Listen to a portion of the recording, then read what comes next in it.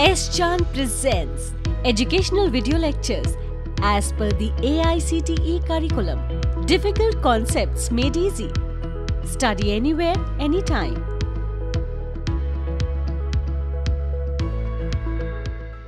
Welcome to S Chand Academy and we'll be starting the second part of the video. If you haven't watched the first part of the video, you can click the link below. In this part, we would be covering uh, the orthographic projections in detail.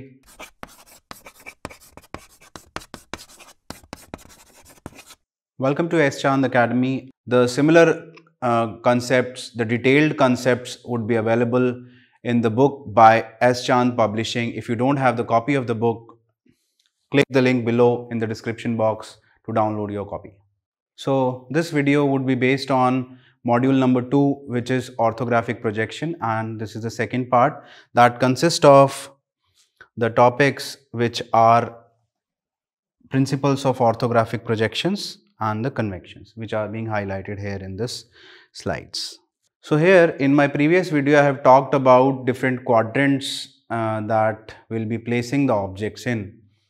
Let's say I have these two planes which is the vertical plane and another plane is called as the, um, the horizontal plane. So we have two planes, one is the horizontal plane, this one and another one is the vertical plane and these two planes are uh, used to divide uh, the segments into four quadrants namely first quadrant, the second quadrant, the third quadrant and the fourth quadrant and the observer is here. Let's say for an example I am telling you that I have an object which is let's say this object which is let's say a point. In my previous video I have talked about the general notation that we would be following so the general notation to write the front view is dash and the general notation to write the top view is without a dash. So here if the observer is watching the object from the front, he would get the front view here and I'll represent it as a dash.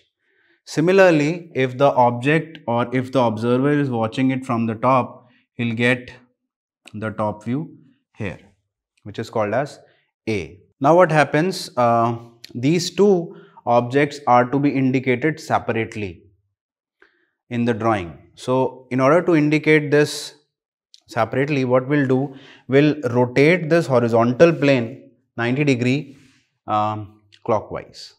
So we'll be rotating this horizontal plane 90 degree clockwise. So what do we get? So I'll have an xy line. This is the case xy line and when I am showing this these two views these two views one would be exactly below the other so I would be indicating with the help of a projector and this would be a light line and here I would be writing the name of the point as a dash and here the name of the point would be a. So here these views are indicated in orthographic fashion.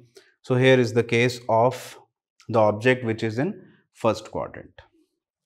Now let us come to another situation in which the object is let us say in the second quadrant situation. As you can see here the object let us say it is B that is in the second quadrant. Now what I will do I will throw the light from here and I will get the view of the object as B dash and from the top I'll get the view here which is B. Now the case is I'll be rotating it 90 degree clockwise. So when this horizontal plane is rotated 90 degree clockwise, so B and B dash may overlap with each other. So in the second quadrant, what do you have? You will have the XY line and here you have both the cases, namely B dash and B or there is a possibility in which both the views would overlap. So this would be the case of the second quadrant situation when the object is there in the second quadrant. Now the situation comes when the object is there in the third quadrant. What would happen then? Now let's say I have an object which is C and I'm watching this object from the front. I'm throwing the light on the object. So I'll get the front view here and the top view on the horizontal plane. So, I will get the top view here on C. So, what happens I will be rotating it 90 degree clockwise. So, when this part so when this part is rotated so C dash would be below the same the xy line and C would be above the xy line. So, in this situation C which was the top view which would be above the xy line and C dash which is the front view that would be below the xy line. It is opposite situation or the opposite case of what we learnt in the first quadrant situation. Now let us keep the object in the fourth quadrant. So here the object D is there in the fourth quadrant. So here what I'll do, I'll be um, throwing the light here and I'll get the object D dash here because it is the front view and the top view will occur here. And what I'll do, I'll rotate this um, horizontal plane 90 degree clockwise. So, this would uh, give to the clear cut situation in which D and D dash would overlap. So, here what happens, this would be the projector and in that situation this D dash and D may overlap, there is a possibility. So, this is the case of the fourth quadrant situation. Now, let us compile all the cases and have some justification. I have these four situations. Number one situation when my object was there in the first quadrant, I had the front view above the xy line and the top view was below the xy line. In the second situation, uh, when the object was there in the second quadrant, both the views, front view and the top view of the object are were there above the xy line. In the third quadrant situation, it is opposite of what we have seen in the first quadrant situation. That means the top view was above and the front view was below the xy line. And in the third situation, both the front view and the top view were below the xy line. So, this is the situation. Now, I would ask a question to the audience that which case would you prefer keeping the object? I would expect some answers in the comment section. Which keeping the object in which view would you prefer? See, the obvious answer to the question is I would be uh, I would love to keep the object either in first quadrant or in the third quadrant situation. Because in the second quadrant situation both the views would overlap. And in order to give an information if the views are overlapping it would lead to a confusion. And here in the fourth quadrant situation also both the views are overlapping. So in the technical language we would not keep the objects in the first in the second quadrant as well as in the fourth quadrant rather we try to keep the objects in um, in the first quadrant and in the third quadrant situation.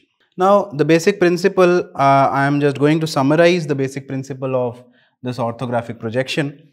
Uh, I have told you that we have two cases. One is called as the first angle projection. So, in the first angle projection, what we have? We'll have the front view above the xy line and exactly below this we have the top view correct so front view is above the xy line and the top view is below that xy line and we have the situation which is called as the third angle projection in which we keep the object generally in the third quadrant and in that situation what happens we have an xy line and we have a projector. Above xy line we have the top view. Below that we have the front view. Right. In India where we are using the matrix system, MM system, generally we use the first angle projection. And in the foreign country, we'd be using the third angle projection.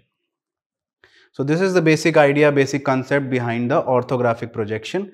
Uh, in my next video, I'd be covering or I would be talking about the projection of points.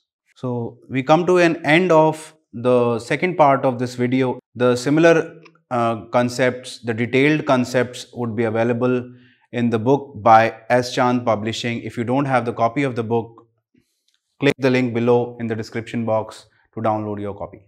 If you find the video interesting, like, share, subscribe the channel and hit the bell icon for future updates. Thank you.